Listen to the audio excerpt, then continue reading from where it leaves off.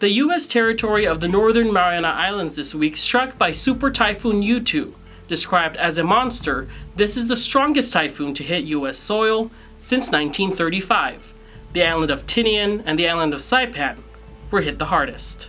Residents of Saipan and Tinian in the Northern Mariana Islands, many who stayed up through the night, documented the aftermath. One resident said they ran into their car during the super typhoon and stayed there for four hours after their house was torn apart. Many report hiding in their bathrooms, under beds, and in storage cabinets for protection as their rooms flooded, cars flipped, and gusts of winds of up to 200 miles per hour cut through.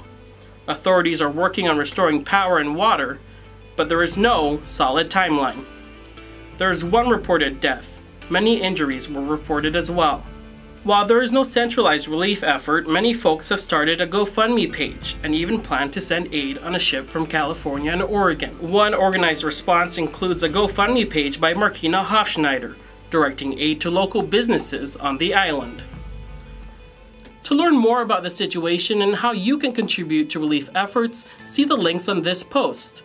Reporting for CalTV News, Guahu si Tomas Manglona. Stay strong, CNMI.